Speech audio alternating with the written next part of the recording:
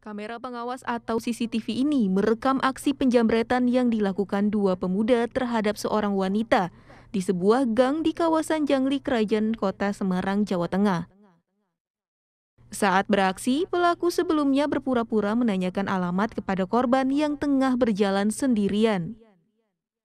Korban yang berusaha mempertahankan telepon genggam miliknya justru terjatuh dan terseret sepeda motor yang dikendarai pelaku. Akibatnya aksi penjambretan tersebut, korban pun mengalami luka-luka di sekujur tubuhnya. Berbekal rekaman CCTV tersebut serta informasi warga, tim Resmo Polrestabes Semarang berhasil meringkus dua pelaku jambret berinisial AB dan F. Selain menangkap pelaku, polisi juga menyita barang bukti satu telepon genggam hasil kejahatan serta satu unit sepeda motor untuk beraksi ambil. Kemudian dia lagi yang handphone. Iya. Langsung kamu ambil iya. Udah berapa kali? Satu ini pak. Yang mana pelaku tersebut mengambil handphone yang ada pada korban.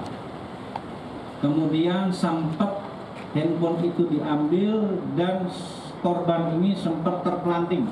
363 untuk mempertanggungjawabkan perbuatannya, kedua pelaku dijerat pasal pencurian disertai kekerasan dengan ancaman hukuman tujuh tahun penjara. Dari Semarang, Jawa Tengah, Aji Pasaluka Dinata untuk CSI RTV.